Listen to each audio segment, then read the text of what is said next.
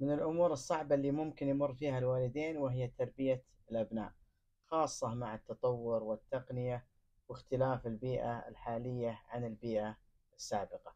فإليك بعض التوصيات في تربية الأطفال. الابتعاد عن الأوامر المباشرة وإيجاد بيئة للمناقشة والحوار وإعطاء مساحة للحرية للطفل حتى يعبر عما في داخله. تشجيع الطفل باستمرار وهذا عمل إيجابي يعطي الطفل نوع من الاتزان والأمان. وانتبه من المقارنة مع الأطفال الآخرين فهذا يسبب العناد. الاستماع إلى رغبات الطفل وإعطائه الوقت الكافي للتعبير عما بداخله. عدم الانفعال والتسرع في العقاب والتعنيف فالأمر يحتاج نوع من الحكمة والليونة وما كان اللين في شيء إلا زانه.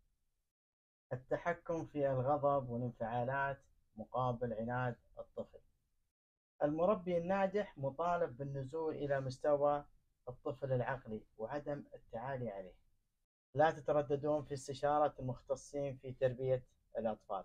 وقبل هذا كله عليكم بالدعاء لهم بالتوفيق والسداد والنجاح في الدنيا والآخرة. ودمتم بود